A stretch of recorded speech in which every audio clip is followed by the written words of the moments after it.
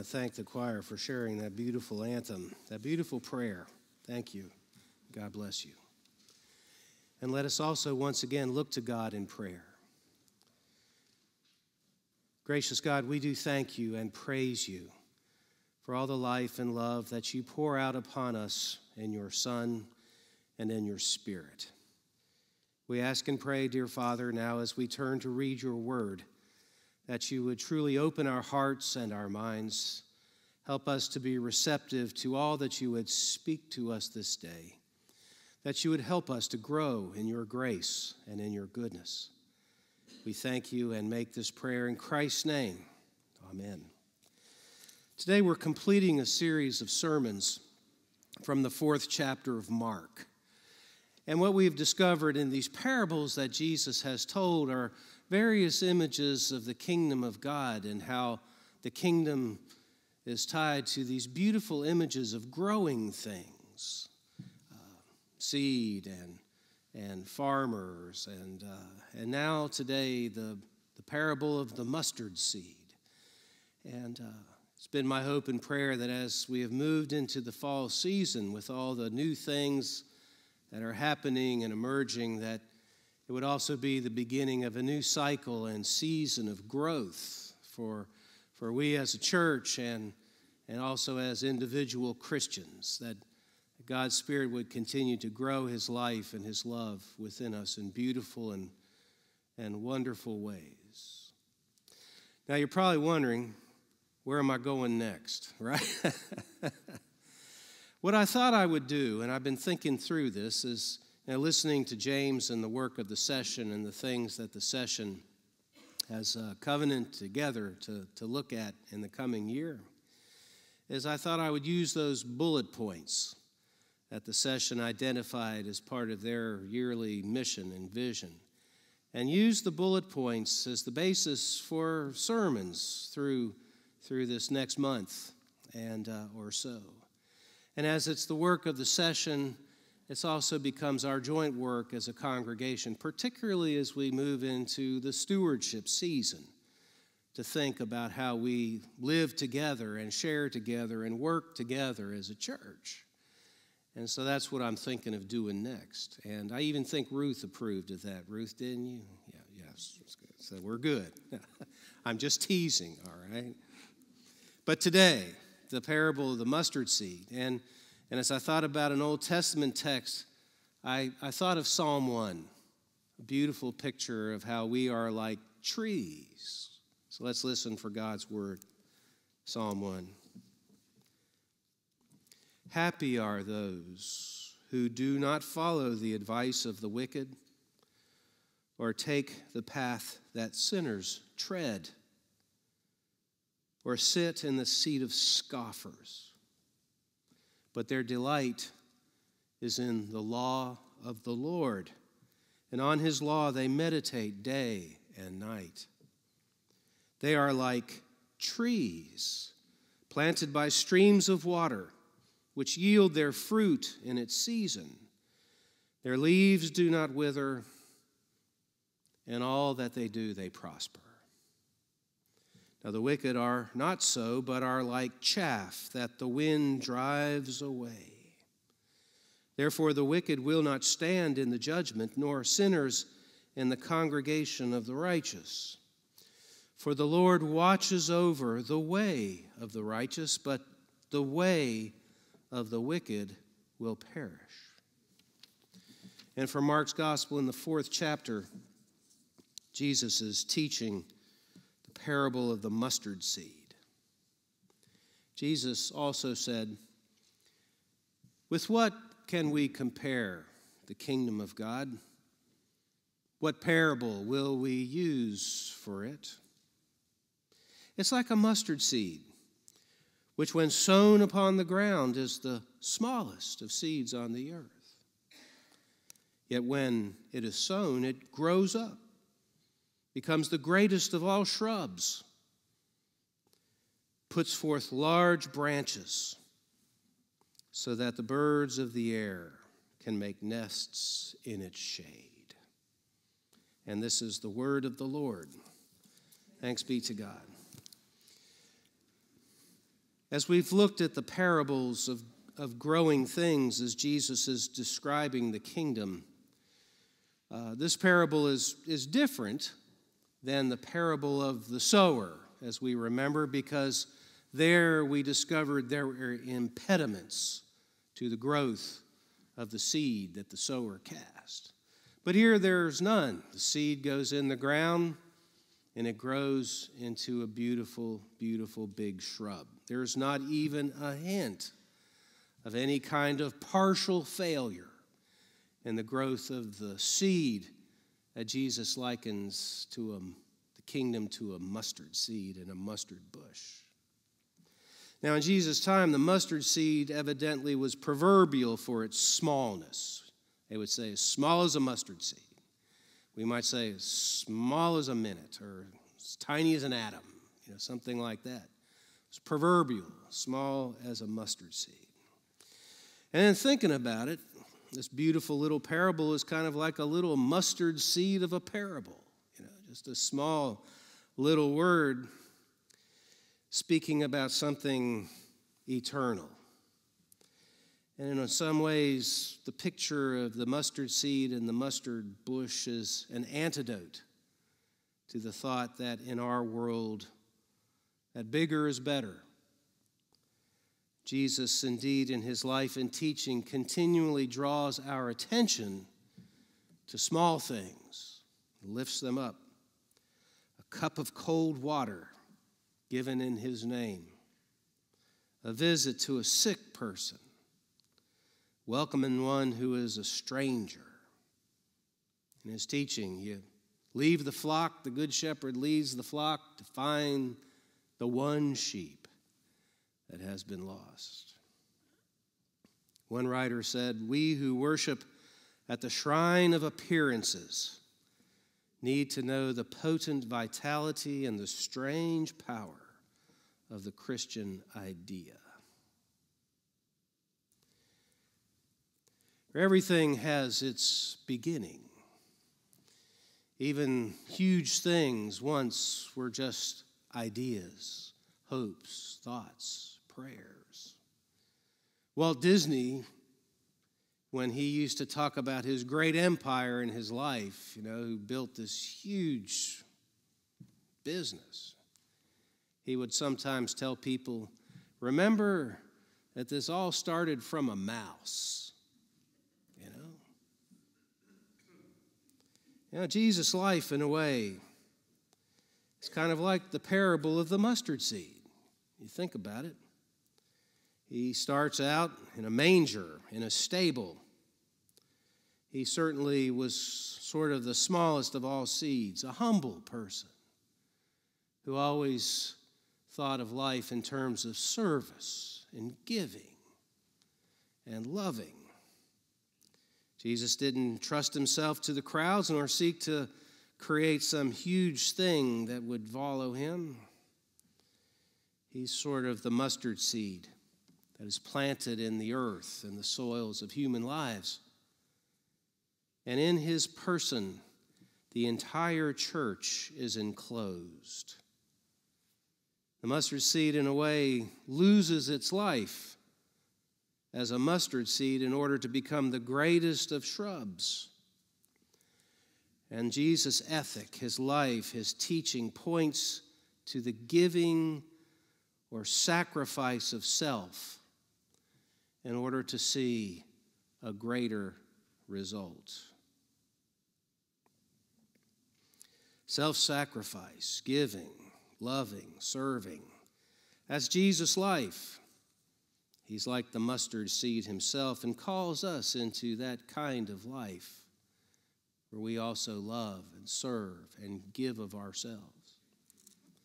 The seed grows, Jesus said, and becomes the greatest of all shrubs a picture of development. The seed contained the promise of the tree, and that's what it became. Isn't it true that we also grow in the direction of our dreams?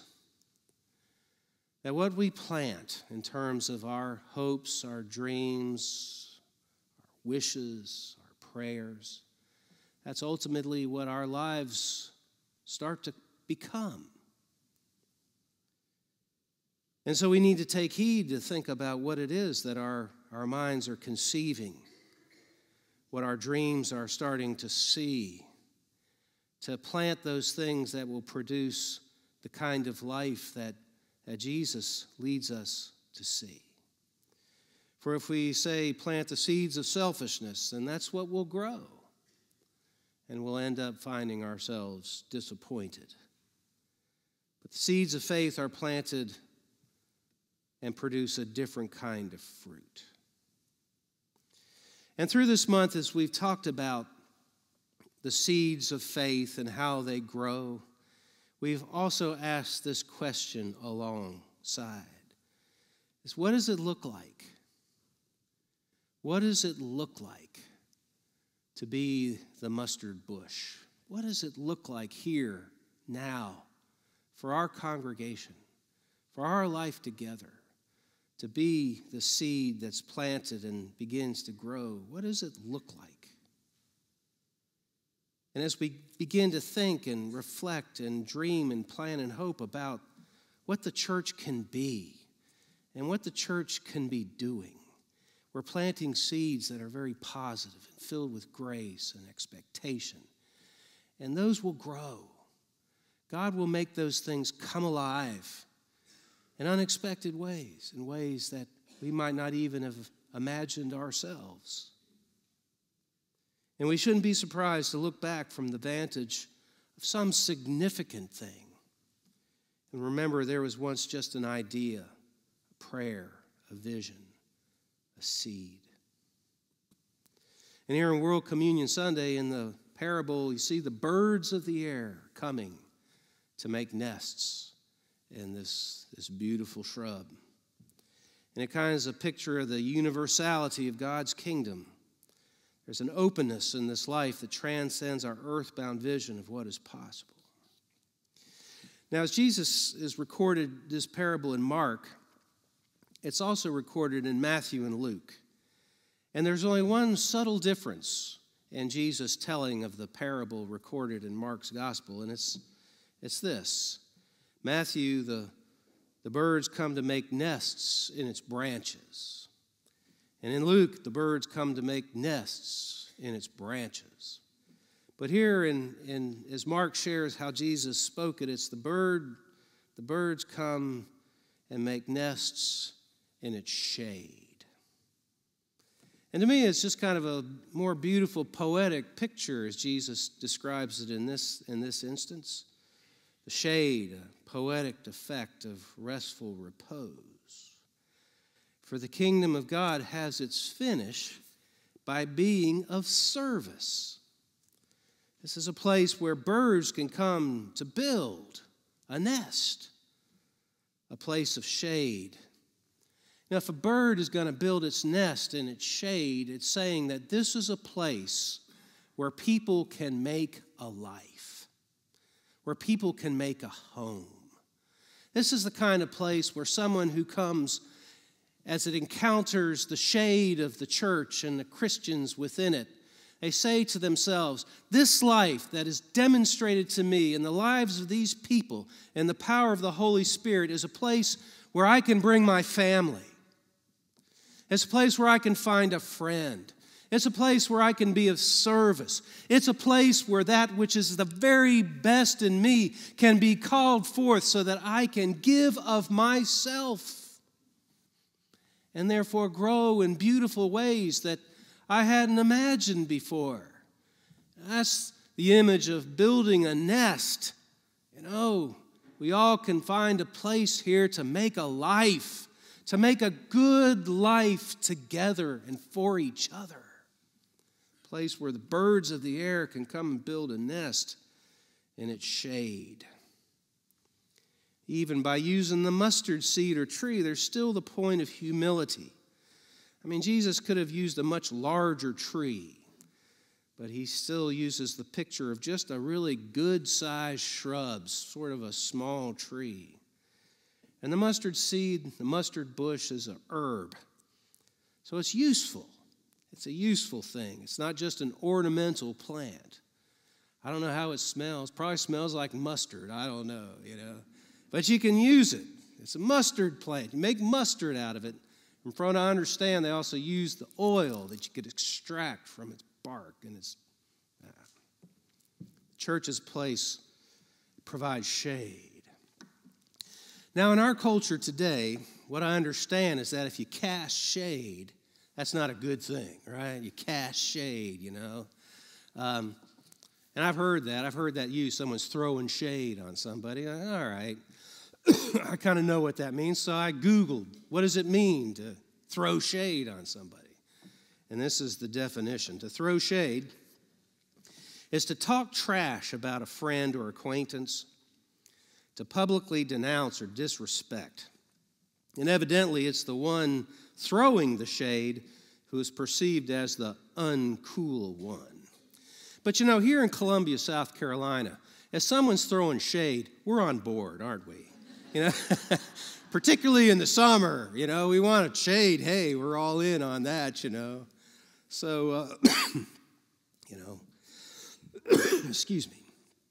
So the question becomes how can we be those who throw the shade of Christ and people that are out there living in a parched? I didn't cough on purpose, you know, it's a little parched up here, so I'm to. How can we be those who cast his shade in a good way? And what does that look like?